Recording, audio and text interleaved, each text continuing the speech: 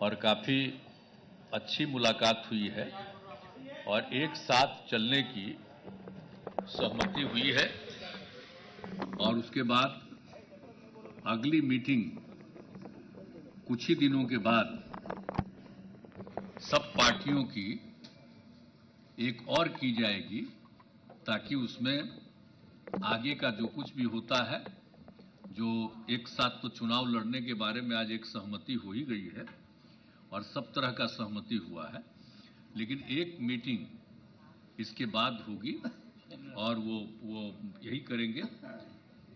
मल्लिकार्जुन खड़गे जी करेंगे। उसके बारे में इन्होंने बता दिया है डेट और वो बताएँगे। अभी हम लोगों ने ही कहा कि जल्दी करना है तो ये लोग अगले महीने जल्दी से जल्दी करेंगे। एक मीटिंग हो जाएगा तो वो तो एकदम समझिए कि वो अंतिम रूप ले लेगा। कौन कहाँ लड़ेंगे, क्या है, सब चीज़ के बारे में सब हो जाएगा। तो सहमति थी, ये हो गया है। और बहुत अच्छे ढंग से और सब लोगों ने माना है कि हम लोग मिल करके चलेंगे और देश के हित में है। अभी जो भी शासन में है, वो देश के हित में काम नहीं कर रहे और सारे इतिहास को बदल रहे हैं। आज़ादी की लड़ाई को